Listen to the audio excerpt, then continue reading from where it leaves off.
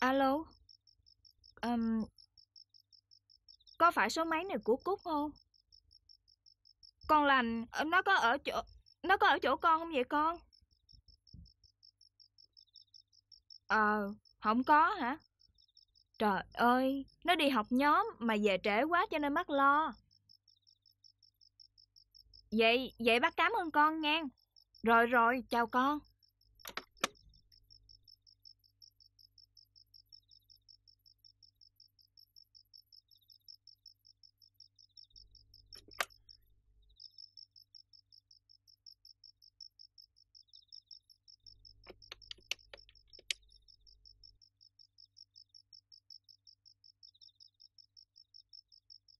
Alo?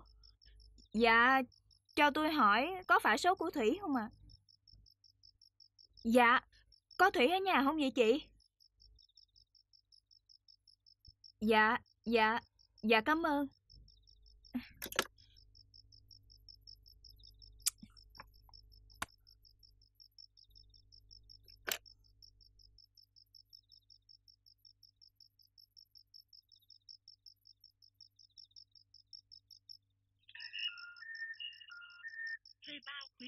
Gọi hiện không liên lạc được. Xin quý khách Trời đất. Chồng với con. Điện thoại cũng tắt máy nữa. Tức chết mà.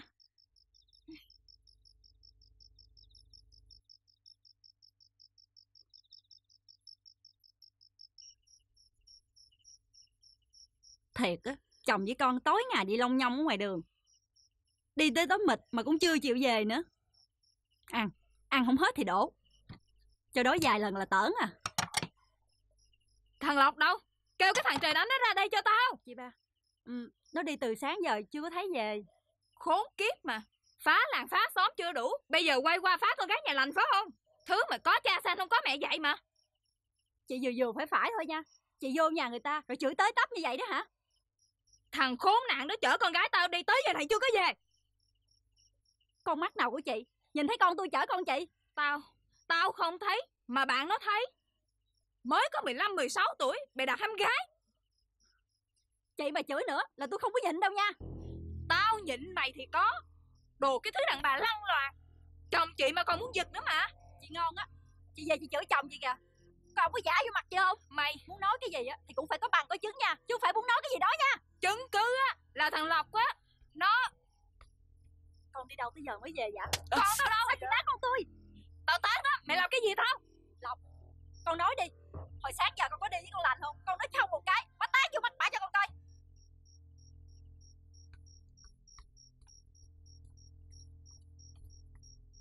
Cái đồ mất dạy,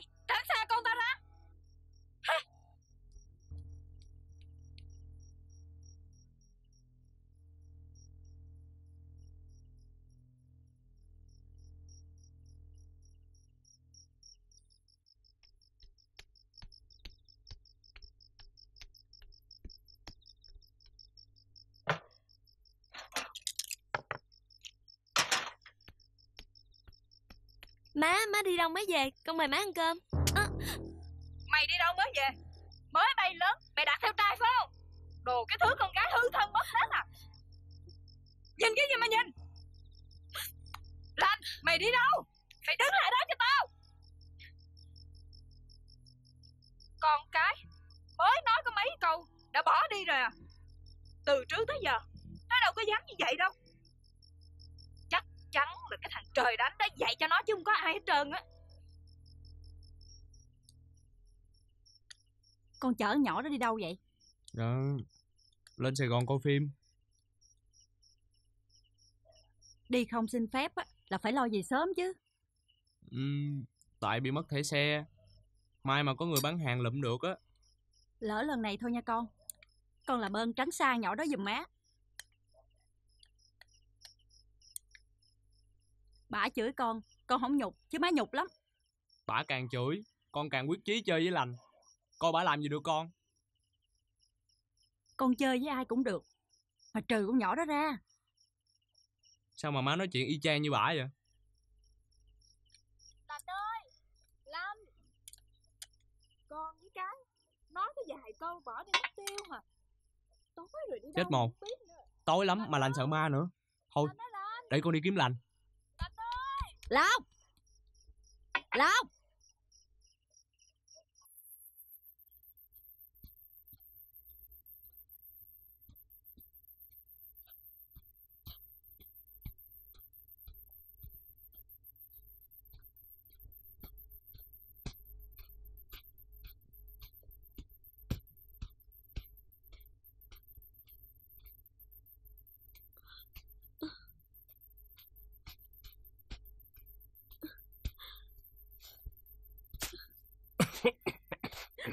Đi đi đừng có nhát con mà Đi đi Tôi là người chứ không phải là ma. Con ở đâu?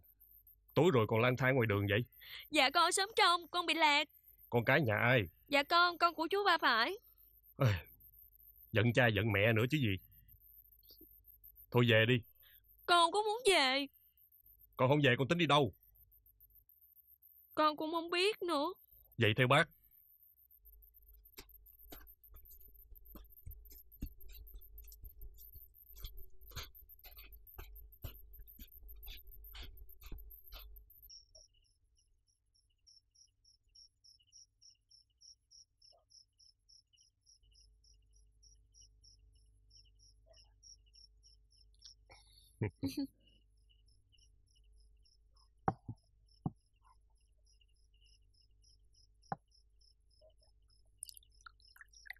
Uống miếng trà đi.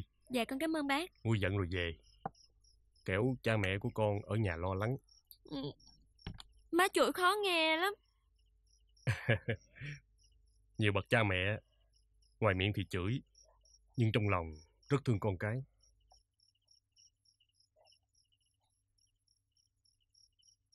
Vợ của bác hả bác Bảy Không phải là bạn thân. Hình này nè, mấy đứa con của cổ đó, dễ thương lắm. Thật tội nghiệp, má tụi nó mất sớm quá.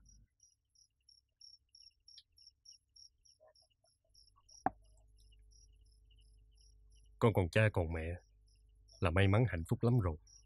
Giận làm cái gì? Mấy đứa nó giờ có muốn nghe má nó chửi cũng không được. Dạ con nghe Không phải là ruột thịt Mà bác có dễ thương mấy chị đúng không? Giờ mấy chị đó ở đâu hả bác Đứa đi học, đứa đi làm xa hết rồi. Thỉnh thoảng cũng về thăm. Gia đình được quy quần bên nhau là có phước có phần. Mình phải ráng gìn giữ. Con có anh hai Mà được cậu Năm nhận làm con nuôi Đem qua Mỹ mất tiêu rồi Làm cha làm mẹ, sinh con ra rồi cho người ta làm con nuôi. Má nói á, cho ảnh qua Mỹ Để cuộc đời của ảnh được sung sướng Nói bậy, con cái rất cần tình thương của cha mẹ, cần gì vật chất.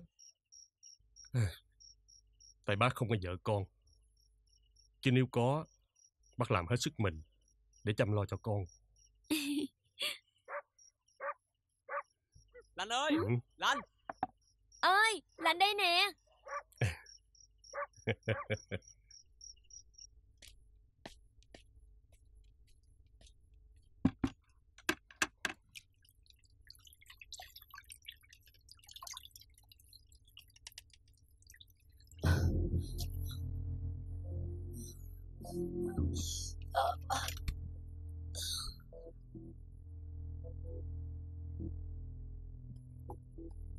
Anh Trung ơi.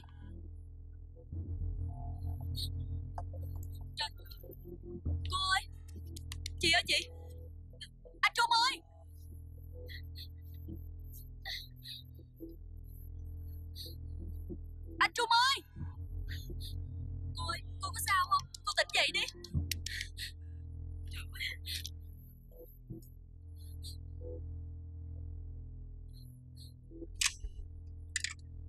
Việc của anh đã bị xỉu. Ừ tôi đưa vô bệnh viện, bây giờ tới đây liền.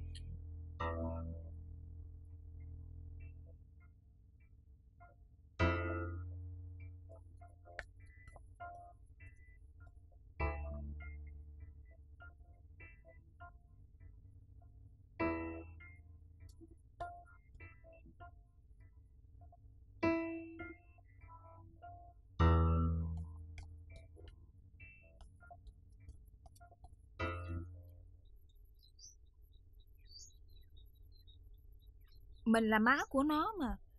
Không lẽ đi xin lỗi nó? Nhưng mình sai thì phải xin lỗi chứ. Ai mà chửi mình như vậy, mình cũng tức chứ.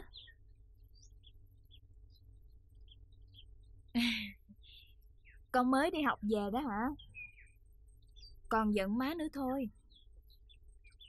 Thôi xí xóa hết ngang. mà con nấu canh bông sò đũa, ngon lắm. Uhm, giả tạo quá. Về rồi đó hả con? Vô thay đồ đi, rồi ăn cơm. Má xin lỗi, hôm qua má hơi nóng tính. Má tìm không có thấy con. Con đi mà con không có nói, không xin phép cho nên má lo. Câu này nghe tự nhiên hơn nè. Về rồi đó hả? Vô thay đồ đi rồi ăn cơm. Tôi mới về để tắm cái hả? Giác mặt về rồi đó hả? Đi đâu từ hôm qua tới giờ? Trời đất ơi, làm gì đổi tông lệ vậy trời? Đàn ông đi chơi hỏi chi? Ông mà không nói hả? Tôi quýnh chồng bơm đầu. Cái gì vậy? Chồng chết nè, chết đi, Ba- chết đi. Trời ơi, Chồng chết, chồng chết đi, chồng chết đi. trời ơi, Con, má xin lỗi con, con có sao không? Dạ con không sao Má, má tha cho ba đi Chứ để hàng xóm Người ta nhìn thấy Kỳ lắm bà nghe nhỏ nói chưa? Giờ như chẳng tính gấu ngựa.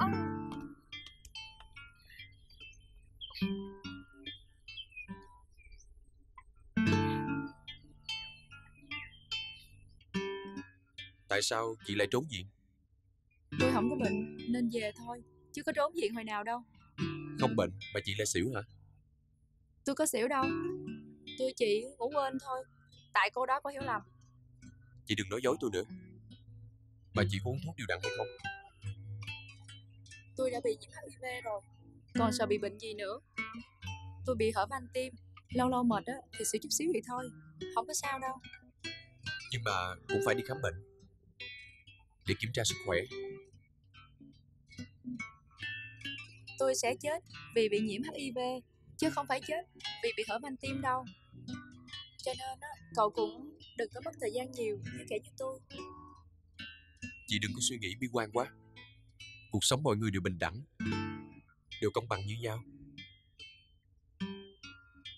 Thôi được rồi. Để tôi nhờ bạn tôi đưa chị đi khám bệnh. Không cần đâu Nếu mà muốn đi khám á Thì tôi nhờ bạn tôi cũng được Sao? Chỉ có bạn hả? Bạn trai đàng hoàng Đã nói rồi, thật sự là em bận lắm. Anh đừng có gọi cho em nữa. Em đã nói rồi mà. Anh cố tình không hiểu hả?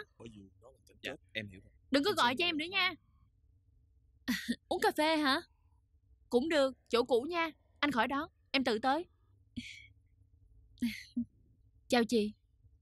Tính mời em đi ăn trưa, mà hình như em bận rồi. Vậy sao? Xin lỗi, để khi khác nha. Hôm qua chị có nói chuyện với đạo diễn. Anh ấy nói rất là tốt về em. Và anh ấy còn nói là sau vở diễn này, có thể em sẽ nổi tiếng hơn nữa đó. Nghe chị nói vậy em mừng quá. Nếu như vở kịch mà thất bại thì em mang tội. Ừm, Yến nè, chị tính sau buổi ra mắt này, chị sẽ cho công ty đi xả stress ở đâu đó. Em thích đi đâu? Ừm, em hả? Tùy chị thôi em không có ý kiến. Tại chị định trong chuyến đi này nói với em một chuyện rất quan trọng. Chị muốn em biết một điều là Nếu như công việc thì em nghe. Còn ngoài ra thì à, em xin lỗi.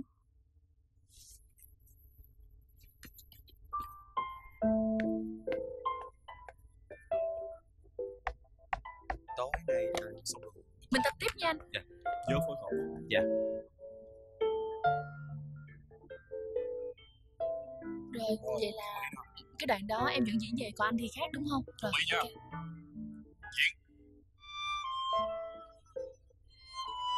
sao em lại có thái độ kỳ Lúc này anh làm Anh trẻ hơn nửa tiếng, Xin lỗi, tôi có chút chuyện bên ngoài. Bà có hẹn tôi có chuyện gì không? tôi buồn quá. Không biết nói với ai hết, nên tôi tìm anh để tâm sự. Dạo này Thái độ của Yến đối với tôi lạ lắm. Mấy đứa con của anh có người biết chưa?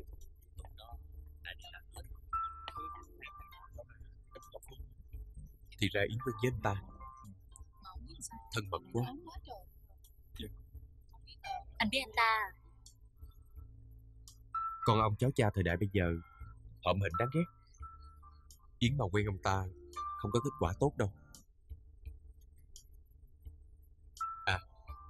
Mà cô nói Yến đối xử với cô như thế nào? Hình như Yến cố ý tránh mặt tôi. Mỗi lần tôi hẹn, cô ấy đều nói là bận. Có thể cô ta bận thật. Đang cặp bộ mà.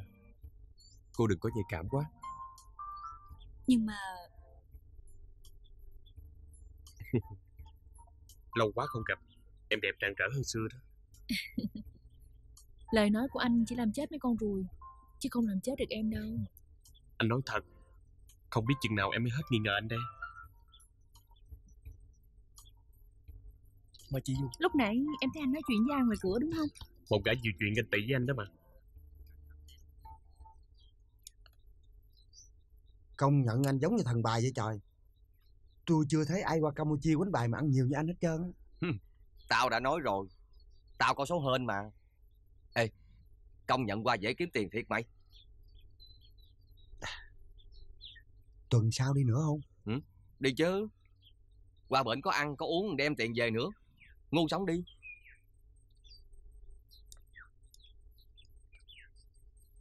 Nếu ờ, lần sau mà anh có ăn nhiều nhiều á Anh cho tôi chút đỉnh.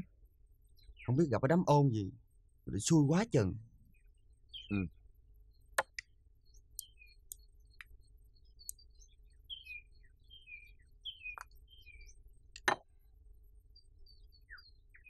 Tưởng anh rủ chồng tôi đi đâu. Té ra đi Campuchia để đánh bài ở bển á. Anh ác vừa thôi. Anh muốn nhà tôi tan nhà nát cửa phải không? Gì ăn nói gì kỳ cục vậy. Thấy có lợi tôi mới rủ anh đi. Không tin gì hỏi không coi. Tạ nha Biết cái thì thưa thốt Không biết vô cột nghe. Cái miệng lèm bèm lèm bèm lèm bèm bực bội. Anh ôm tiền đi quýnh bài Mà anh không cho tôi nói hả Cờ bạc là bác thằng Bần biết không?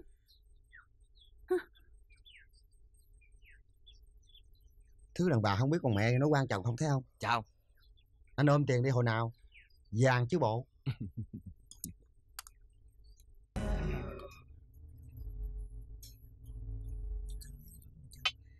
Tôi có gặp phiền anh không? Có gì đâu mà phiền. Sao? Thứ tôi giúp chuyện gì á Thì cứ thoải mái nói ra. Dạo này tôi thấy trong người yếu đi nhiều lắm. Tôi không muốn cho ân nhân của tôi phải lo lắng. Cậu ấy có quá nhiều việc rồi. Tôi nghe anh từng nói có trung tâm gì đó dành cho những người bị nhiễm HIV. Tôi đến đó được không? Dĩ nhiên là được Nhưng mà tôi thấy cô rất khỏe mạnh Đừng có nên bi quan chán nản quá Thì phải lo thu xếp hậu sự cho mình chứ. Tôi không muốn chết như con chó ở ngoài đường đâu. Cảm ơn anh.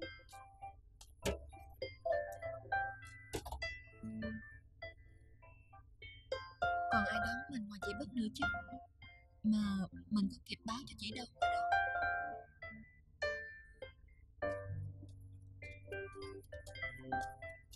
Chúc mừng em mới ra trại Ủa, luật sư, ờ, sao, sao anh biết tôi ra trại mà...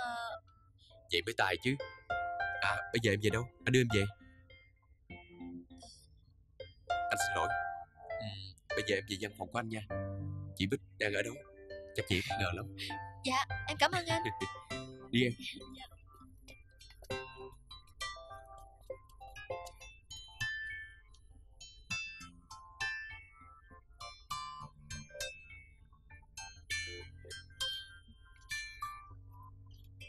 Yến đã nổi tiếng Em mình quả thật là có tài Yến à Chị tự hào về em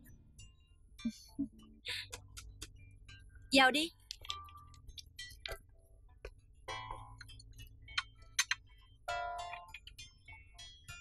Anh qua đây để hỏi em đọc báo chưa?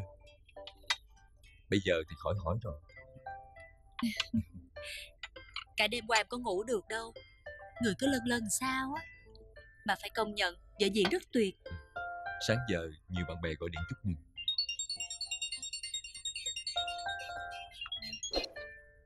Alo, tôi nghe đây. Ông Quân hả? Chúng tôi muốn xin ông một cuộc hẹn được không? Được, hẹn trưa nay gặp nha. Dạ, chào ông. Có người muốn bàn chuyện đặt hàng. Anh cứ từ từ tụ hưởng cảm giác thành công. Chúng ta sẽ đi ăn mừng sau. Cảm giác này thiệt là dễ chịu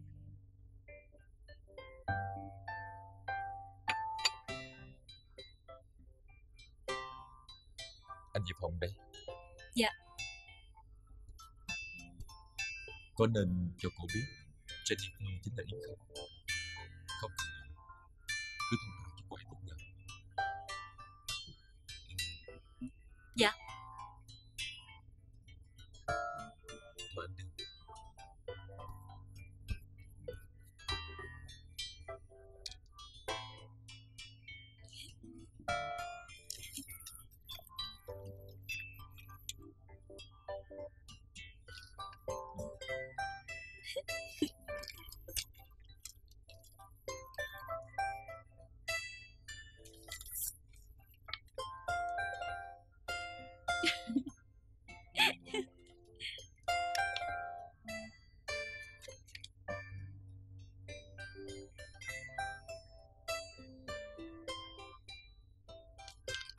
Mọi người đã biết mình là ai rồi Thật là thú vị quá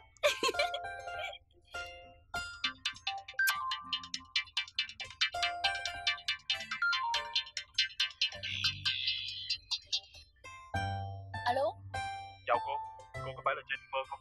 Tôi là đạo diễn Quang, Dạ đúng rồi anh Sao? Đạo diễn Quang hả?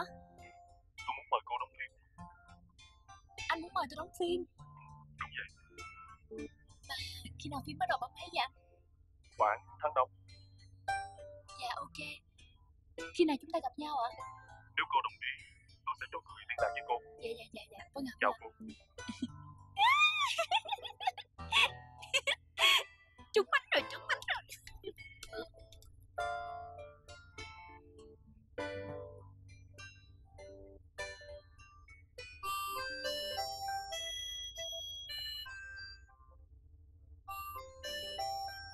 Không biết chị ấy đi đâu mà tôi gọi điện thoại hoài không được. Ừ, dạ không sao đâu Tôi ngồi đây chờ cũng được Cô ở đây chơi nha. Cứ tự nhiên, tôi tiếp người bạn một chút. Dạ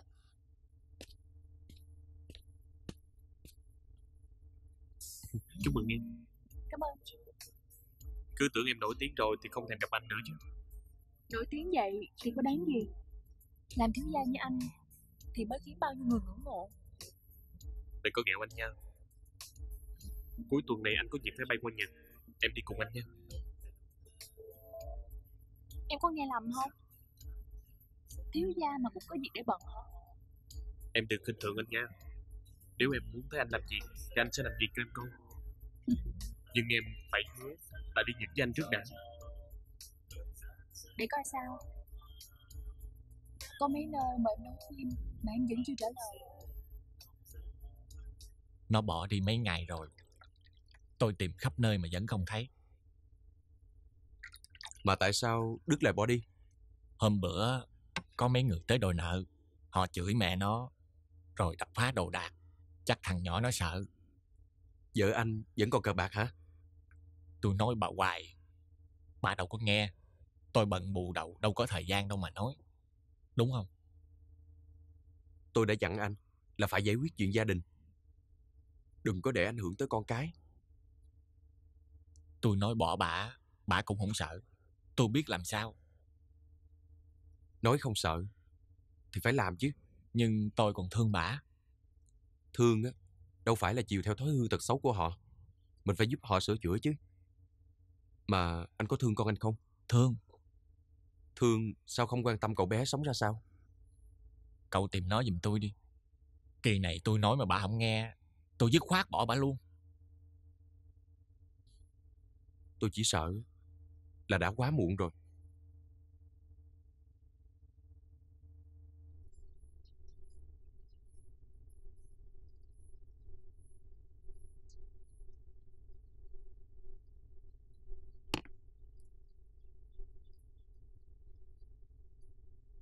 Ừ, chị, em thấy chắc phải tìm chỗ trọ khác để ở thôi. Chứ cứ ăn dầm nằm về ở chỗ người ta như vậy, kỳ lắm. Thì tao cũng biết là như vậy. Nhưng phải tìm nó ở đâu, trong khi chị em mình không có tiền. Ừ, lúc ra trại á, trường có cho em một ít tiền. Giờ chắc em phải tìm việc làm thêm. Nhưng mà em tính làm gì? Chắc làm thuê làm mướn thôi.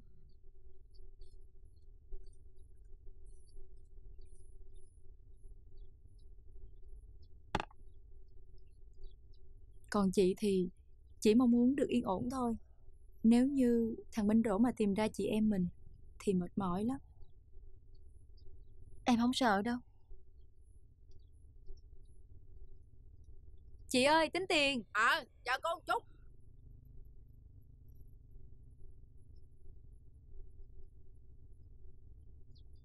Cô đừng có quá đáng nha Muốn ly dị thì ly dị Nhưng tôi báo cho cô biết ra là không có một cắt Của chồng công vợ.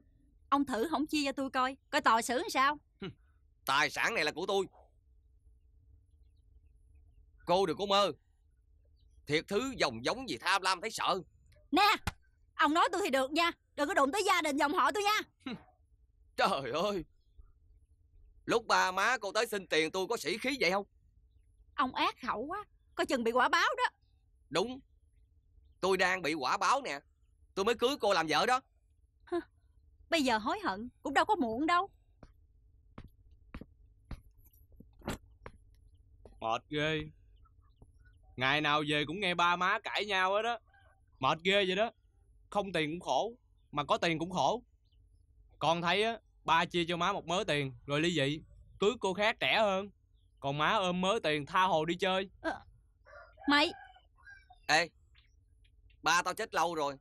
Mày cha tao sao mày dạy tao mày Vậy thì ba má đừng có cãi nhau. Con lành nó nói Ngày nào cũng nghe ba má bạn cãi nhau vì tiền. Ba má không biết nhục Nhưng mà con biết nhục. Mày biết nhục không? Biết chứ. Biết thì mày biến. Ra khỏi nhà tao. Xạo xạo xạo xạo không à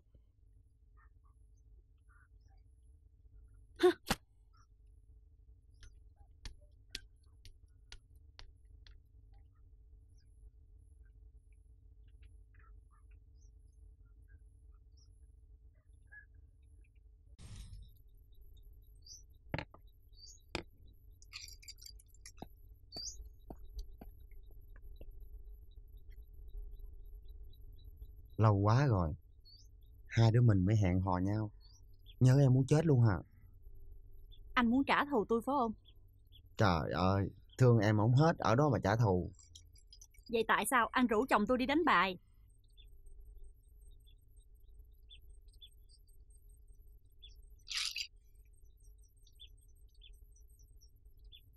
À, Thì anh đâu có muốn đâu. Tại anh kẹt quá Kẹt. Kẹt cái gì?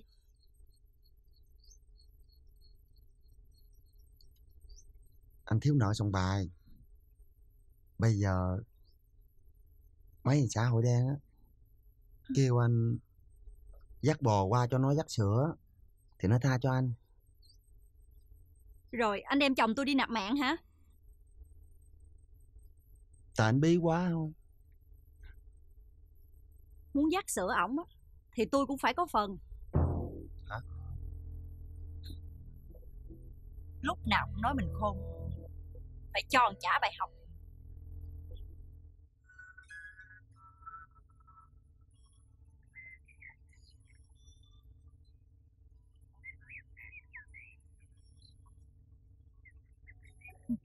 Sao không ăn đi? Để một hồi bỏ uổng lắm. Tại anh thấy món nào cũng hấp dẫn Nên không biết ăn món nào Cảm ơn em.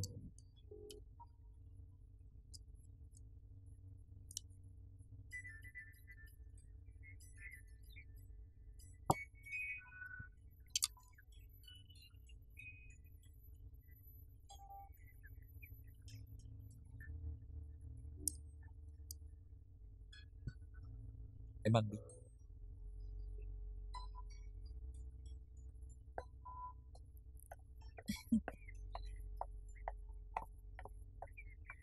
Anh Quân Sao tình cờ quá vậy Nè, có phải là tình cờ hay không? hmm. Thấy ghét Gọi nhiều đồ ăn hấp dẫn như vậy Sao không mời em Đừng có nói là hai người đang yêu nhau nha Ba chúng nói Vì nói cái gì vậy? Ừ, chúng tôi chỉ đi ăn mừng thôi mà. Ăn mừng Chiến dịch marketing thành công á Cũng có công lao của em mà Sao không mời em chứ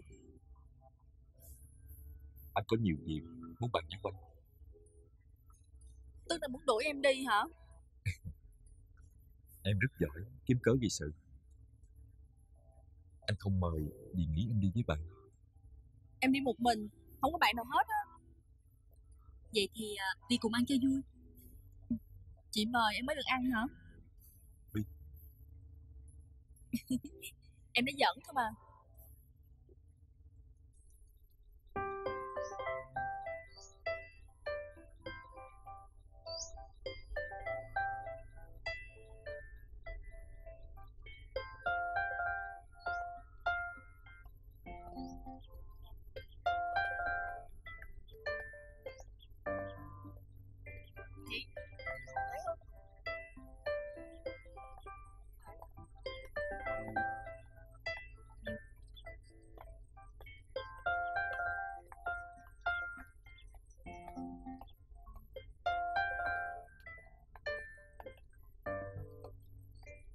chân quá Ngồi xuống nghỉ chút đi. Đi cả buổi trời Tìm khắp nơi Mà không thấy đâu hết. Ủa Mà cậu bé này là ai? Thế anh quan tâm quá vậy. Chỉ là người dân thôi. Cậu ấy là vậy đó. Thấy ai nghèo khổ bất hạnh Cũng giúp hết á. Người xấu thì xấu kinh dị luôn. Còn người tốt thì tốt giả man. Bây giờ đau quá Trượt chân cái gì mà đau. Đó.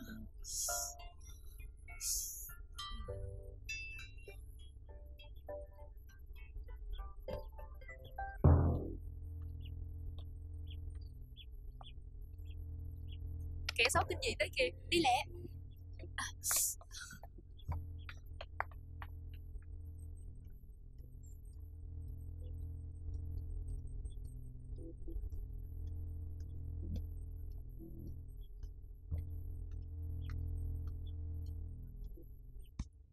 Cảm ơn Dạ, anh cảm ơn chú.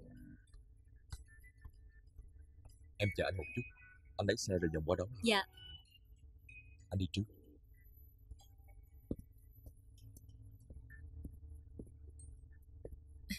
Chị à Em nói cho chị nghe nè Chị biết tại sao mà anh Quân lại tốt với chị như vậy không?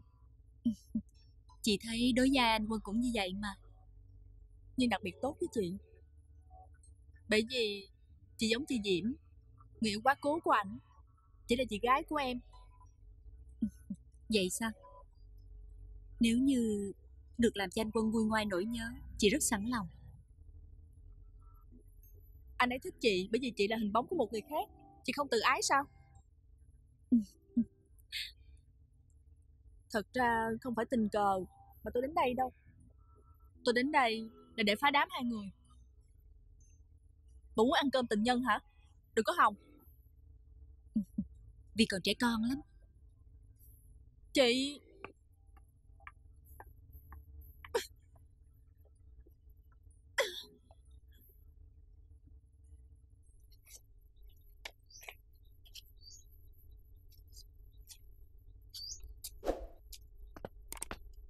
Dạ chào đại ca. Chào đại ca đi mày. Dạ chào đại ca Thằng này đâu rồi mày? Dạ nó mới bỏ nhà đi bụi. Cho nó gia nhập nhóm đi đại ca. Biểu con. Dạ đại ca. Mày biết làm gì không? Dạ Dạ. Đại ca chỉ dạy em. Ừ Cũng được. Mặt mày cũng sáng sủa. Tao có chuyện cho mày làm. Dạ. Ừ. Ê Lục. Dạ. Bây giờ mày dẫn nó đi ăn. Rồi mua cho nó một bộ đồ mới Sáng mai tắm rửa sạch sẽ Dẫn nó lên gặp tao. Dạ. Ừ. Dạ đại ca. Cảm ơn đại ca. Ừ. Mai gặp nha. Cảm ơn anh Lùng Cảm ơn cái gì? Tao với mày là hàng xóm mà. Alo, Ủa, nghe. mà tao nhớ chú hai thương mày lắm, mà tự nhiên mày bỏ nhà đi bụi vậy? Ở nhà trắng phèo rồi. à. Ngày nào cũng Ờ, có người đánh tứ sắc hết á Không bàn đời Cũng cãi lộn, chửi lộn Rồi đòi nợ Thà tự gây đường cái mang sướng hơn Đúng rồi đó. Được đó. Ở nhà nhờ cha mẹ, ra đường nhờ bạn bè. Để tao lo mày. Có cha có mẹ cũng như không à. Họ có nghĩ gì tới mày đâu. Như tao nè. Mồ côi cha mẹ, khỏe re à.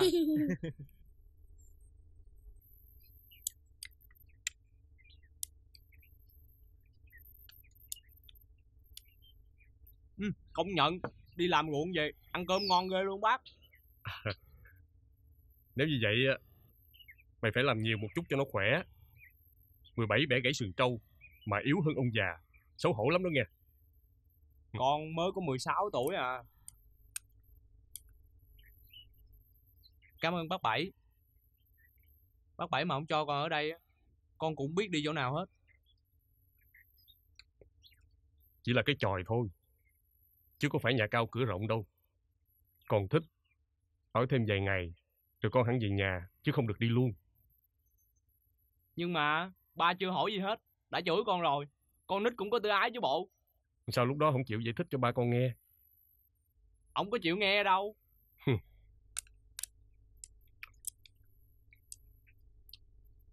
Con nít bây giờ khó chịu quá.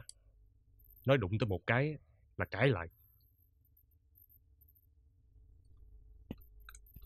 Thưa bác Bảy, Ừ. ở lại ăn cơm luôn thôi, lệnh đem bài tập cho Lộc rồi về liền. Nè, Lộc nhớ làm bài tập. Ngày mai phải đi học, Lộc nghỉ hai ngày không phép rồi đó. Con làm phiền bạn đó thấy chưa? Dạ, có phiền gì đâu bác. Ừ. cảm ơn nha Ừ. mai lộc sẽ đi học Ừ. Dạ, chào bác, Ừ. về. Bye. Thôi ăn cơm đi. dạ